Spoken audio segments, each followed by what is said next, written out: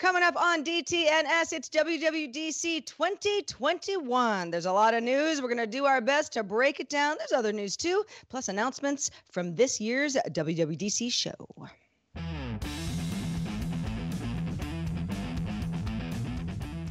This is the Daily Tech News for Monday, June 7th, 2021. From Studio Redwood, I'm Sarah Lane. From lovely Cleveland, Ohio, I'm Rich Stroffolino. I'm the show's producer, Roger Chang. And joining us today, we have Terrance Gaines and Nica Montford, the hosts of the Snob OS podcast. Hello. How are you both doing? Good. Glad to be back. Got a lot We're to back. talk about today. Yep. Well, it is just kind of the perfect day for both of you. I've I was watching uh, you both on Twitter, taking your own notes, doing some live tweeting. Uh, WWDC, of course, especially when you do anything that's Apple focused. We're certainly Apple focused to a point here on DTNS, but the Snob OS podcast, um, it's definitely in your wheelhouse. So Really great to have both of you. Uh, we are going to get into as much of the WWDC details as we can fit into one show in just a few minutes. Uh, before the show, we were talking on Good Day Internet uh, just about uh, a little bit about WWDC and what we sort of liked and didn't like. But we also talked about haunted lakes. Uh, if you want to know a little bit more about that wider conversation, you could do so by becoming a member at patreon.com slash DTNS. Let's start with a few non-WWDC tech things you should know. Facebook CEO Mark Zuckerberg announced that the company will continue to not charge fees for its paid online events, fan subscriptions, and badges through 2023, and will include its upcoming news products in that no fee policy as well. No word on what the rate will be after 2023, but if there's any question why Facebook is doing this, Zuck said, when we do introduce a revenue share, it will be less than the 30% that Apple and others take. Zing. Singapore based Flex, the world's third biggest, largest chip manufacturer, expects chip shortages to continue. Flex's chief procurement and supply chain officer, Lynn Torrel, says with such strong demand, the expectation is mid to late 2022, depending on the commodity. Some are expected into 2023. Chip makers continue to invest in new production capacity, but new facilities are not yet complete. The California Public Utilities Commission issued a permit to GM's autonomous vehicle subsidiary Cruise, allowing the company to shuttle passengers in its test vehicles without a human safety operator. Cruise is the first company to get the permit in the state and cannot charge uh, fares for rides in test AVs. Nine companies, including Cruise, have previously obtained driverless test permits from the California DMV, that's different from the Public Utilities Commission, although Nuro remains the only company to have obtained a commercial deployment permit from the DMV. YouTube Shorts, still in beta and previously available in the US and India, is now expanding to the UK, Canada, and Latin America. Users will now be able to use music from YouTube's wider catalog, add captions and overlays on shorts, color correct, and sample audio from other shorts. Sounds familiar. Hmm and Google reaches settlement with France's competition authority over charges that it abused its dominant online ad position by favoring its own advertising services to the detriment of rivals. The company agreed to pay a 220 million euro fine and pledged to improve interoperability between its ad manager and third-party ad servers. The changes stem from a 2019 complaint filed by News Corp and the French newspaper Le Figaro.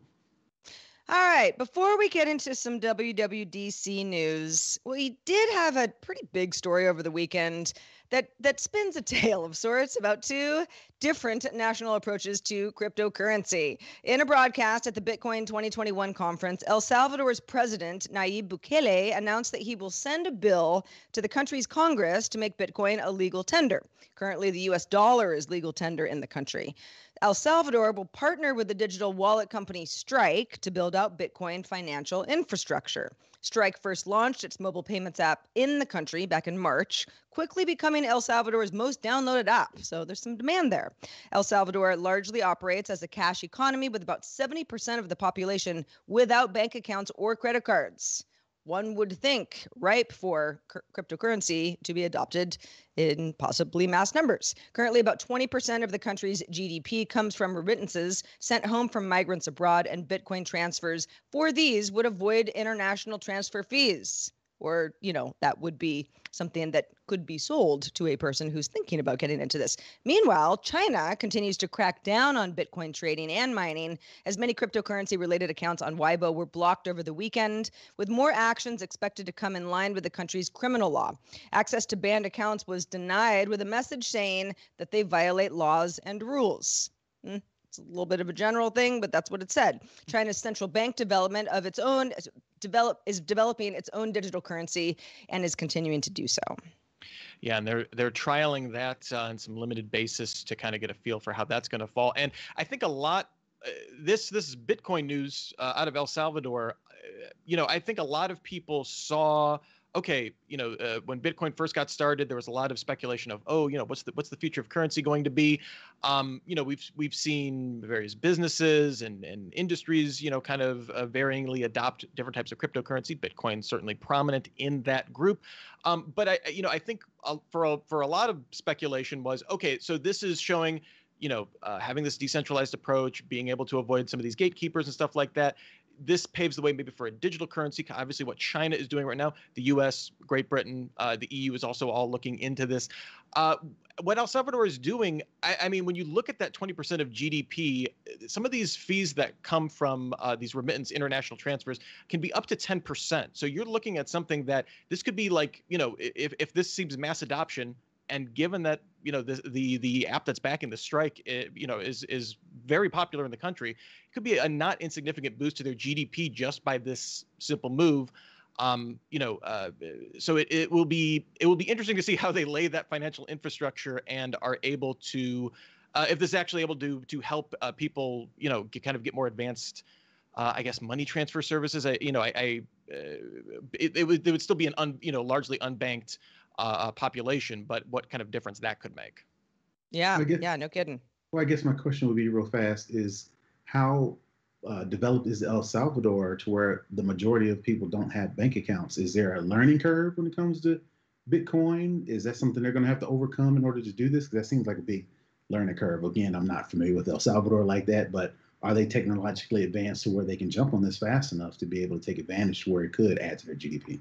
That's a really good question. Uh, you know, I'm I'm not uh, never having been there. I'm not much of an expert myself, uh, but I kind of liken it to the idea of, oh well, you know, if you if you're you're mostly dealing with cash, you know, whether it's going in or uh, or coming in or going out, um, and you know, not banking, so not doing a lot of online banking. So you think like, well, there's you know possibly you know uh, a lot of adoption of home computers yet to be had but if you can access an app that doesn't require to have a bank account and you're skipping out on some fees, it's almost like, you know, folks that jump to the smartphone life without having the computer first type of a thing. It's right. probably the adoption is probably pretty darn easy, you know, because okay. money's money. Yeah, that's true. Yeah, to the to the point where banking might look like, well, that's the old way of doing things, but it's sure a lot more complicated than what we're being sold.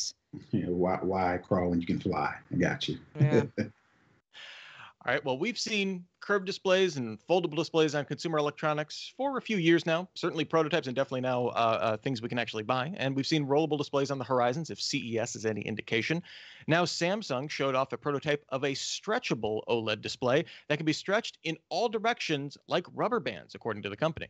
The display is able to stretch using a specially designed elastomer treated to resist the heat of the electronics with a grid like island structure. The current prototype can be stretched up to 30% while operating normally, able to be stretched up to 1,000 times. That's just for this prototype, and that's the extent of which they've tested, and it still responds normally. Samsung published a proof of concept showing the display used as a stretchable heart rate monitor about the size of a band aid. It literally just looks like a band aid with a display on it. Uh, kind of uh, interesting. Samsung sees this display as having uh, numerous applications in healthcare tech and you know just just kind of on that band-aid uh, uh, design alone we've seen uh, certainly some kind of wearable tech that's a little bit more passive right that has some sort of uh, like chemical receptors that can then send some information to a smart device but having that display on there uh, I could see a lot of wearable and and definitely healthcare tech uh, applications of this. Uh, Sarah, are you going to be getting uh, your stretchable display if it's available? Oh, well, okay. So we've got, you know, yeah, curved displays, rollable displays. Sure, seems cool. No real, you know, the uh, precious few products, um, you know, to, to, to, to speak for for all of these prototypes that we keep seeing. However, the stretchable thing, yeah, if it, if you're talking about like, I don't know, something that's tablet like, I'd be like, nah, that's silly. But yes, anything that would be a wearable, for example, the smartwatch that I use, it gets really finicky about uh, about giving me an accurate heart rate. You know, if I'm doing jumping jacks and it's like, oh, it's like, you know, you're at 85. I'm like, ah, it's not working right. Like it's not sitting on me properly. You know, it's either too tight or too loose. Something that's a little bit more, you know, a second skin w- would be a, a great a great use for this. You mentioned the band-aid. It's like, yeah, okay, something like that. You know, not necessarily just on humans, but but something that a piece of technology that can that can stretch and be sort of flush with whatever surface it's it's kind getting like data the off of. kinesiology tape that you know you see athletes Yeah. kind of tape all over their body because I- apparently that does something to the muscles. If they Doesn't could look like, like put it. some kind of tech inside of the the tape, then I think that would probably be a to me a better benefit of s- any type of stretchy type device. Yeah, the the problem that it seems like Samsung is having is they still need to retain like a tiny non-stretchable part to kind of put all of the electronics in. Like it seems like Yeah. relatively they have the display component at least in in a prototype figured out whether it'll actually get to production but it's like it's getting those like kind of hard uh, hard you know unbendable electronics we've we've certainly seen that in uh, in foldables uh, as well that's kind of the limiting factor right now so uh, you know we will see in fact uh, you know last year i, I think uh, uh, south korea kind of commissioned lg to kind of take over development of this as kind of the next frontier it's interesting that samsung uh, has now kind of come out and is is showing off some stuff now. Although admittedly it was like a render, so we will see if when when that comes to life. Well, if you'd like us to talk about stretchy tech, rollable tech, or anything on the show, one way to let us know is by submitting stories in our subreddit and voting on others so they rise to the top. Submit stories, vote on them at dailytechnewsshow.reddit.com. Okie dokie. WWDC 2021, uh, the keynote, which was prepackaged, uh, as Apple has been doing um, since, you know, pandemic times, uh, happened earlier today. Although, as you, as I did notice, they had the, you know, Memoji crowd, and as if Tim Cook was in an event space. So I feel like they're inching back to wanting to make this an in-person event again. I thought that was kind of clever, but we have lots of stuff to cover. So we're going to do our best to get through them. Nica and Terrance, you're going to help make some sense of all of this for us. But iOS, we'll start with iOS. Uh, the the the show kicked off with kind of a big splashy set of updates for FaceTime. Uh, a lot of stuff. Uh, spatial audio was was was one of the first um, one of the, one of the first things that that that FaceTime will get with the assumption that people are using FaceTime the way that they're using Zoom or Skype or all sorts of things where we're we're in video chats together and spatial audio will help you feel more than ever like you're in a room with folks. Background noise suppression if you're in a loud place or if you want to bring in the background noise when you're in a place, those are things that uh, FaceTime is going to add portrait mode with the background blurred uh, to kind of make it look I don't know, more portraity. That's sort of nice. Uh, I mentioned uh, Zoom calls, FaceTime links. Um, it ma- makes makes appointment FaceTimes uh, a lot more like you know a more like corporate Zoom call where you can generate a link, plan ahead, send those links. Um, those links can open in web browsers uh, as well as mobile devices. So that's kind of cool. And uh, SharePlay lets you listen to stuff uh, on Apple Music within a FaceTime call. So there's you know there's some there's some inter-app stuff going on. You could also watch a video uh, in a FaceTime call, which then gets into watch content with your friends on a FaceTime call. Uh, and third-party apps, certain uh, third-party apps will be able to take advantage of SharePlay as well. For example, you could we could all here on the show uh, fire up a you know something on Disney Plus and co-watch together. You know, as long as as long as we're subscribers. Terrance and Nica, d- what, of FaceTime, whether I mentioned it or not, jumped out to you the most? Well, you mentioned it. Uh, they're trying to be what people are doing on Zoom, especially with the FaceTime links to be able to schedule a FaceTime versus just scheduling however you schedule it. Everybody get on that call or that at that time and say, okay, well, let me then start FaceTime. It's already pre-started. So uh, all these plays specifically with FaceTime specifically are okay. Apple wants to get in front of that uh, uh, work play, you know, do everything in FaceTime versus it just being something that you do with your kids or your kids do. You know, this actually grown up time. Put on your big boy pants now. Let's get into the try to get into the office so we can actually look more professional. And the fact that they're allowing it across platform, it's not the link will work not just with iOS devices, but with Android and with other devices as well. I think they are really trying to find their space in the whole, um, you know, virtual type meeting space. So for the most part, I think that's what they're doing with FaceTime and giving you the spatial audio so it gives you more of a feel that you're actually in the same room with the person so it's not so flat to seem so much as a more of a robotic type of of interaction it kind of gives you the feel of being in the same room with someone yeah, that's a really good, a really good point of non-iOS people being able to join a FaceTime call. You know, to be invited to one. Um, I was listening to a podcast over the weekend, just you know what to expect from WWDC. You know, as everybody had those over the weekend, but. Uh, but yeah, what one of the one of the folks who was on a particular podcast was like, yeah, I don't live in the U.S. I mean, the whole like messages and FaceTime stuff. It's not just iOS specific, but there are so many other options depending on where you live that a lot of this just seems like it's this very insular world that so many people are not a part of and i know apple knows that so to be able to to open up uh, something that is clearly popular with ios users to others is is is a big thing uh, also in ios uh, a lot of notification updates you've got focus mode that goes beyond do not disturb where someone would get an indication like oh she doesn't just have you know the whole system off uh, there's something that Sarah is doing so that she can't get back to you right away. So it's a little bit more context as to why you might text somebody and and and they don't respond, um, whether it's going to be for a while or the whole night or or if they're just doing something else. Uh, better notification summaries. So when you're looking at your notifications and a bunch of apps have given you a lot of stuff, you get a little bit more context on what those notifications have. Photos now include live text. Uh, this is kind of neat, uh, allowing you to highlight text that's in a photo um, and using a little, uh, yeah, a, a, little AI to be able to to to give you that text, and you could copy and paste it somewhere else. Um, I believe that they mentioned on stage that that would be in seven different languages. Uh, in in images as well, the uh, idea to attach songs uh, from Apple Music, of course, to add to photos memories. I'm like, uh, photo memories are already so dangerous.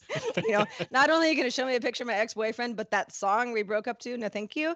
Uh, but I thought that this the the the uh, announcement in in the Apple Wallet, which Wallet is, I don't know, I feel like it's there have been so many missed opportunities for Wallet as of late, but Apple mentioned uh, keys, corporate badges, hotel room keys, uh, keys for smart home locks, all able to be stored in wallet. Also, identity cards, a digital photo ID can be in your Apple Wallet, something that, um, I mean, I think would be could be uh, replacing your ID going through an airport, for example.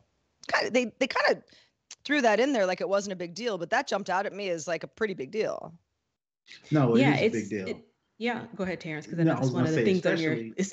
well, because I, I mean, I dream of the day we can get rid of a wallet. You know, there are frequent times where I'm walking around my neighborhood, and since I've got, since I've got an Apple Watch that's got the cellular, I can play my podcast on here. I can do all the things. I can get in and out of my house. But the one thing I can't do is you know, put my ID on my watch. And I would think it would be a nice way to be able to put my ID on my watch because, you know, just as a black man out there, I don't want to leave the house without my ID. So the ability to be able to just have my phone with me and then know that I have some form of identification on my phone is a big deal for me. Yeah, yeah, sure. and I think and and they mentioned I think coming down the pipeline is for TSA for be for you to be able to get through TSA. I don't know if it's specifically if you have like global entry or like your passport, but you're going to be able to add not only like your driver's license but other identification if you are, you know, in the airport trying to go somewhere. And I think trying to get away from like physical items because I know I'm mostly digital. I, I really don't like dealing with like paper. And as much as I can, if I can put it on my phone to scan, to go to the grocery store, to go to the airport, or wherever the case may be, to just have everything, you know, in my phone because I'm nine times out of 10, I'm going to have my phone on me or my watch on me. So to be able to have that type of identification, you know, on your physical person, not something you actually have to carry that's separate, I think that's I think that's a pretty big game changer that they did, like you said, Sarah, kind of gloss over. Yeah, yeah. I mean, they, they definitely. I, you know, I, I, I felt as though if there were a crowd, there would have been some gasps, kind of thing, like, "Ooh, this is pretty cool." But you know, alas, we're all at home. Uh, a few more, few more announcements in iOS. Uh, weather got new dynamic designs. Maps get gets new detailed 3D views in certain cities. Uh, you know, rolling out slowly, but Maps continues to to get better. But over on iPad OS side, uh, we got something called Shelf. It's a new way to multitask, uh, split screen options within apps. If you're if you've got a an app and a shelf, it's I guess I if I understand this correctly, and I haven't used iPad OS uh, regularly uh, as as a productivity tool in some time, but it's sort of fast app switching, but it's more like a dock. So we've got yet yet closer the iPad OS and the Mac OS operating systems inching closer together. Not exactly, but they're getting there. Oh yeah, no, absolutely. Because you can definitely do that on a Mac. You can have the desktops, what they call it in Macs, where you can swipe between the desktops and however you have your desktop set up. You know, in my case, a lot of times when I'm working on our show, I'll have Safari and Docs next to each other, but I can just swipe to another desktop and have something totally different. Well, this kind of does that. So they're trying to play into that, you know, even more so.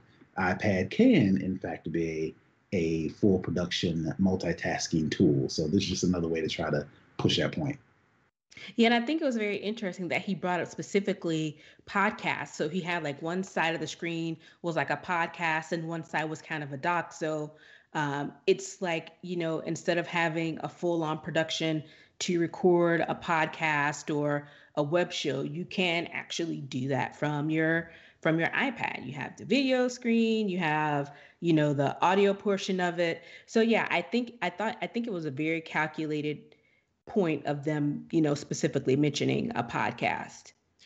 And what's interesting about that the the concept of the shelf is that it helps finally kind of deal with the fact that iPad OS is a windowed operating system. Like we've all we've had the the split screen uh, uh, and the desktop um, uh, concepts around for quite a, for a little bit now.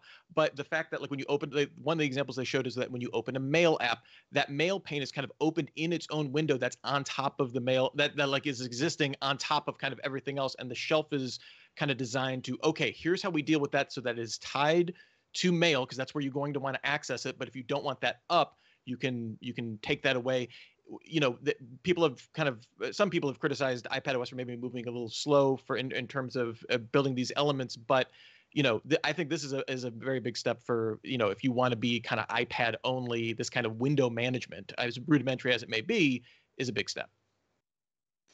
Uh, yeah. So there, well, we'll get to it in a minute. Universal Control, which which does bring the iPad uh, into into the Mac universe even more with Mac OS Monterey. But uh, before we move on from iPad OS, uh, bigger widgets on the home screen, quick notes for iPad OS and and Mac OS. So it's the Notes app, but again, more context, richer, uh, and developers can build apps with Swift playgrounds, essentially just making it easier to to to work on building apps. Uh, those of those those of the developers who already do so say, oh, this is easier. Maybe there are others who just never got their feet wet in the first place who might want to take a swing. So that's pretty cool. Privacy. Apple Apple was a bit heavy-handed with privacy. That's Apple's thing these days. We would expect nothing less.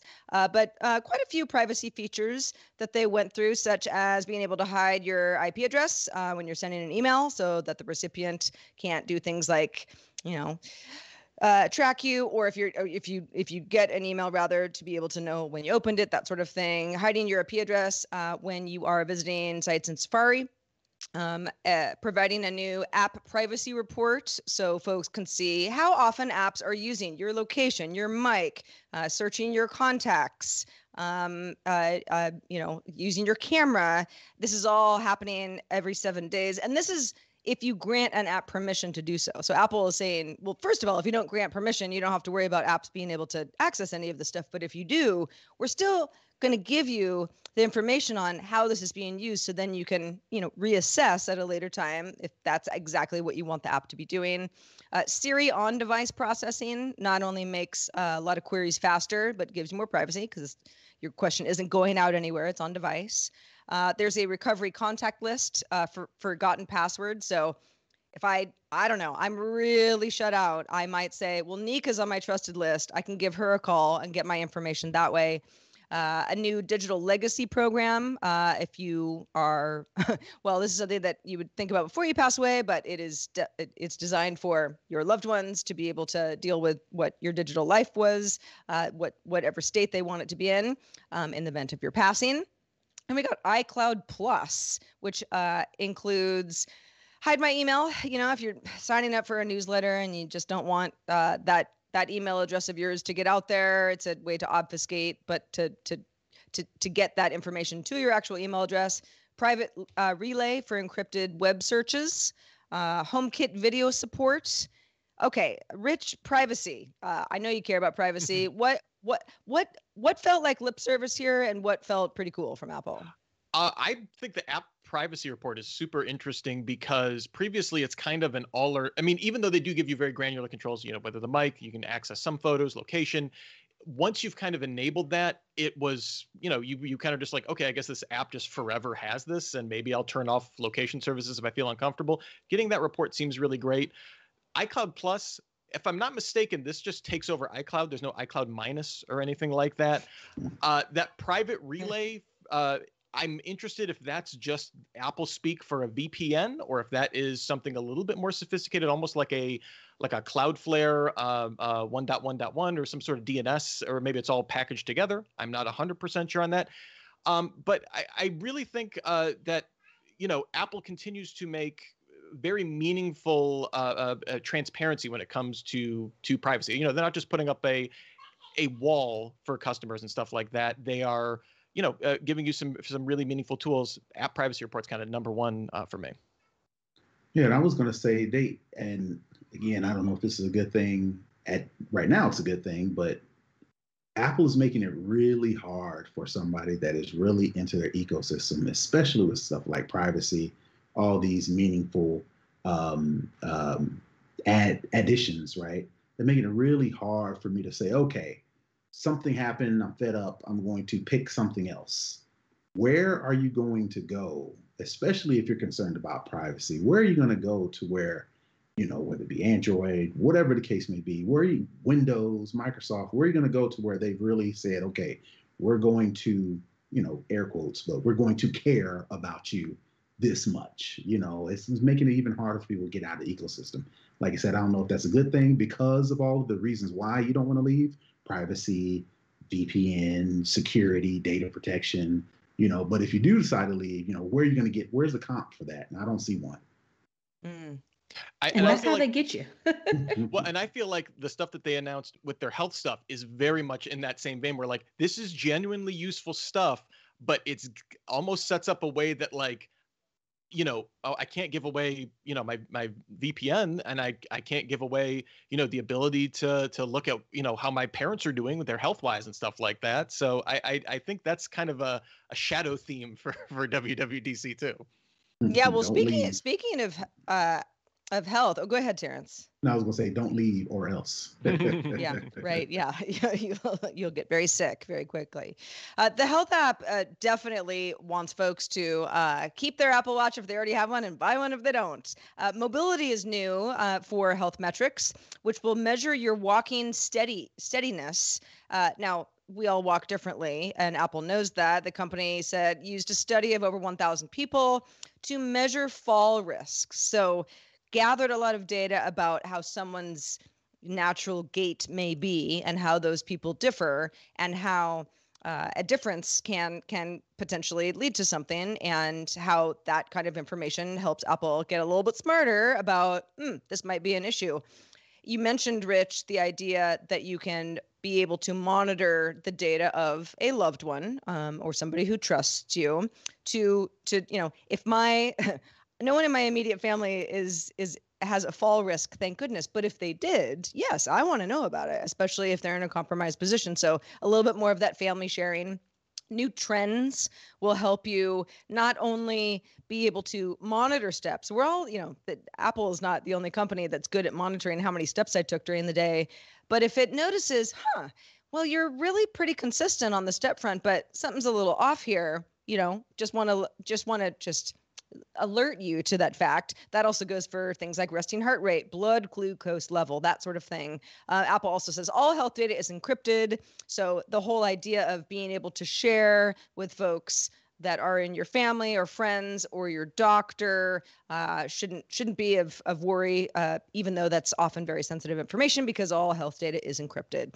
Now, I don't have an Apple Watch. Uh, every time Apple gets to some cool watch stuff, I always compare it to my Fitbit because I'm in the Fitbit ecosystem. And you know they are mostly neck and neck a lot of the stuff but uh, you know I can't use Fitness Plus because I don't have an Apple Watch. There there are definitely a lot of things about health. Every time Apple announces something new I think they're very long in this game and it is probably only a matter of time till till I switch over. Yeah I think especially with what we've learned through the pandemic I think they, because I think one of the new features is um, respiratory. They're capturing that data in some way. And I think with the trends, it it gives you the opportunity to see subtle changes. So, you know, you might get sick or something might happen, but it usually isn't something that's just, you know, instant. It's usually something that's gradual. So I think what they're trying to do with trends is just to start to give you kind of a bird's eye level of your health. And then if things start to fluctuate, it lets you know a little bit sooner that, hey, I may need to send this over to my doctor or let my doctor know that something might be a bit amiss. Yeah, Got a few other updates before we get to macOS Monterey. Uh, AirPods uh, with UWB now on the Find My network. Uh, you can add Conversation Boost for hearing enhancements, support for spatial audio on Apple TV. Siri is also coming to third party dev- devices uh, using the Matter smart home standard, uh, of which Apple is part of. What was Matter called until a couple months ago? Click? Uh, chip. Chip. Chip. Chip. Connected home, internet, whatever. Yeah. Yeah, I knew it started. I knew it started with a C. I, I, I, I don't know. Um, I, I guess spatial audio. I think spatial audio is one of those things where once you have it, you go, oh yeah, now I can't go back. I just don't have it yet. So some some of this is slightly lost on me. The find my stuff for the AirPods seems huge to me because I, I had a friend who bought some new pros and like within a week left them in a, when we were still traveling, left them in a cab uh, in in mm-hmm. another country, and uh, those were the gone forever. And I don't know if this would have helped them in that particular situation, but that solves a huge pain point uh, for a lot of people. All right, let's get into Mac OS Monterey. We got a sneak peek of what's to come. Universal control, uh, controlling access across your iPad, your MacBook Pro, your um, your uh, what am I? Why can't I? yes, thank you, iMac. I'm like, you know, desktop. Ah, yeah, a wall there. And this is just, you know, it's not just, oh, you can use it. You know, you got a you got a second screen. It's the dragging and dropping across across all of them at once. Oh my gosh, when I saw it, I was like, ah, finally, because I don't, like I said, I don't, I don't use an iPad or iPad Pro, uh, in particular. Uh, now at all. Um, but I loved the idea of, oh yes, I can I can at some point add this to my work setup.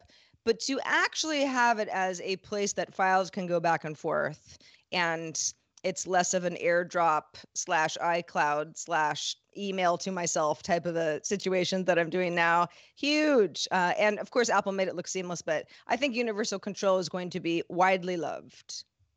Yeah, yeah that was I was I was that was my favorite part of of the whole announcement, I think, because just having the devices in proximity to each other. So it's nothing that you have to connect. It's it what they showed was extremely seamless. And a lot of times, like you mentioned, if I'm working on something on my iPad, I have to airdrop it to my iMac or to my MacBook or whatever I'm using. And with this, you can actually control your iPad screen with your keyboard or mouse from whatever machine you're using. So you can navigate around an iPad like a laptop.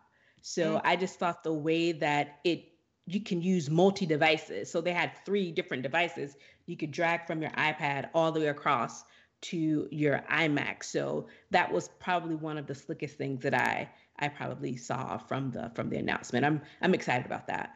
Mm-hmm. And there's no setup. You know, right now you can try to do it. We mentioned in you know previous show that there's third party things, there's freeware. Even Apple offers their um, sidecar, I think is what it's called, where you can just do this the share to different screens. That's just screen sharing. The fact that you just do it without having to think about it, I think is the benefit. Rich, did uh, anything in macOS Monterey stand out to you? Are you pumped about uh, new uh, tab functionality in Safari? So the one thing that kind of I geeked out a little bit about is that uh, they showed off an AR object capture where basically instead of doing a whole 3D model, you can use photometry. Um, that's the wrong word, but basically you use pictures to build of 2D pictures to build a 3D object. And I've seen mm. that done with like like a hundred Raspberry Pis to do like 3D imaging of people but like the fact that you could do it with a fixed object with just your phone obviously that speaks to a lot of apple's ar ambitions going forward uh, but i think that that points to a lot of interesting things to make that kind of ar capture a lot easier for developers and just for regular users. Uh, on the developer side, uh, something that that is probably going to be pretty helpful to developers, but also uh, people like me who are in the App Store constantly, custom app listings um, for pages in the App Store that can not only change the um like so, sort of the app album art depending on who might be viewing the app so that more people say oh this is exactly what i'm looking for but to also highlight events um, somebody on Twitter said, "Yeah, like Travis Scott doing that Fortnite concert, right? Apple. That's kind of what we're talking about. That's actually a pretty good, uh, pretty good example." Uh, Xcode Cloud Access. The limited beta starts today. It's available to all devs in 2022. Uh, we've also got Test Flight on the Mac. Uh, on the developer side, Terrance, did you uh, did you see anything that a developer friend might say? Yes, I've been waiting the whole time for this. But probably just to make it easier for people to eventually get to the point. I think Apple's getting there to where you will eventually be able to make one code, make one app, and it seamlessly work across all devices, iOS and Mac, for the fact that you can actually do it faster using Xcode Cloud Access and Test Flight. You know, just they're just getting closer and getting closer and getting closer to where we won't have to have all these differentiations. We got Mac OS, and tvOS, and iOS, and watch OS. Eventually, it'll just be like just develop it one time and it works. So we're just getting very, very closer. And yeah, exactly. you can test it. You can test your app across the different OSs in the cloud. So you're not having to, you know, run your tests, you know, on each different OS and churning and just, you know, tying up your system. All that's done in the cloud. It gives you a test report at the end, tells you what failed, what worked on each different OS. So I think X, you know, Xcode Cloud is going to be extremely. I think the developers are going to love Xcloud code, bah, Xcode Cloud. Um, a lot tongue twister there but i was really i was really you know um, impressed with what they're doing with xcode cloud we got public betas of iOS 15, iPad OS 15, Mac OS Monterey, tvOS 15, and Watch OS 8 all coming in July.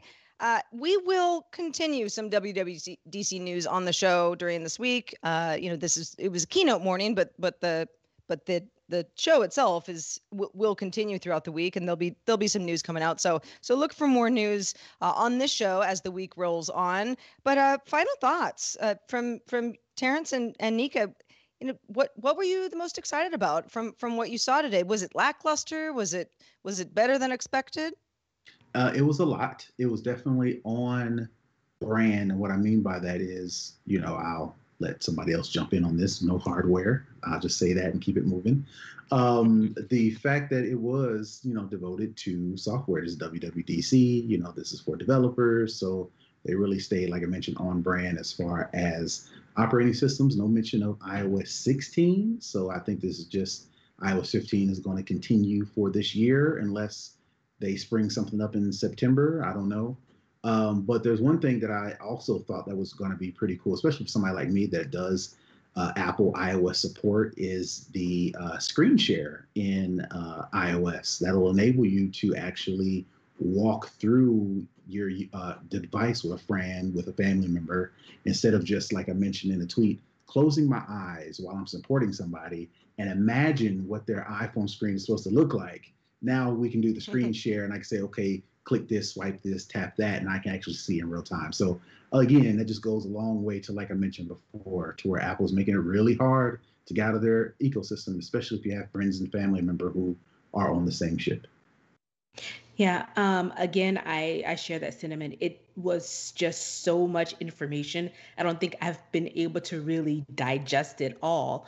Um, but again, uh, like I said, I was pretty impressed with um, the Universal Control Act um, across the different devices. I think that was probably the the biggest thing that I, um, you know, got um, out of it. And I think just uh, some of the dev apps that they have coming out are going to be really top notch. So well, very cool. Uh, Rich, what about you? Before before we wrap up this uh, this this Monday edition of WWDC 2021 and other news as well, uh, did, what, what was the standout for you?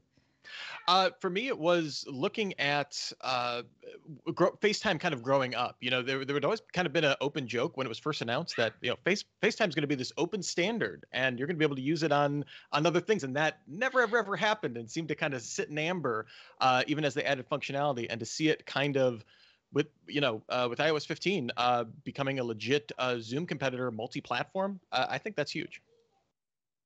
Well, if you think something is huge from the show and we talked about it, or we may talk about it tomorrow or Wednesday, send us your thoughts. Uh, and if you didn't watch it, you can send us thoughts on anything you'd like us to talk about on a future show as well. Feedback at dailytechnewsshow.com. We love your emails. Thank you in advance. Also, shout out to patrons at our master and grandmaster levels. Today, they include Miss Music Teacher, James C. Smith, and Justin Zellers.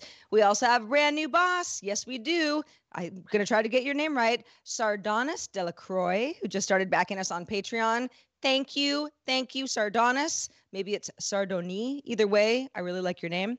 Also, thanks to Nica Montford and Terrance Gaines of the Snob OS podcast. Nica, I'll start with you. Where can people keep up with everything you do? They can pretty much find me on Twitter at TechSavvyDiva. I'm pretty much on Twitter all the time. And of course, on our podcast, Snob OS. Terrance Gaines, where can people find your work? Yeah, you can find me on Twitter and Instagram and Facebook sometimes, I guess, uh, at Brother Tech. And like Nica mentioned, I am the second half of the Snob OS show where we record every Wednesday and we normally come out every Friday with new episodes. So tune us, tune in there. Well, thanks so much for joining us on the show. I know it's a big day for you. Uh, such a pleasure. And we'll do it at the next Apple event. Uh, we are also live on this show Monday through Friday, 4.30 p.m. Eastern. That's 2030 UTC. You can find out more at dailytechnewsshow.com slash live. And we are back tomorrow with guest Trisha Hirschberger. Talk to you then. This show is part of the Frog Pants Network. Get more at frogpants.com. Diamond Club hopes you have enjoyed this program.